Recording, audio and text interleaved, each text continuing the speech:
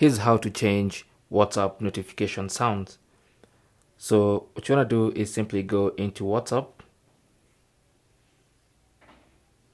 and then tap on settings in the bottom right corner and then go to notifications tap on that and then you should see message notifications and group notifications now can change the notification sound for specific message notifications from individuals by tapping on sound and then you can change the sound from whatever is there to to whatever other sound you want.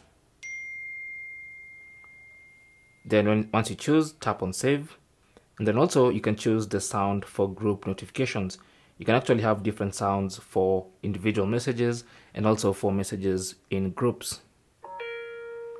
And once you set it up, again, tap on save. And that's it. That's basically how you can change notification sounds on WhatsApp.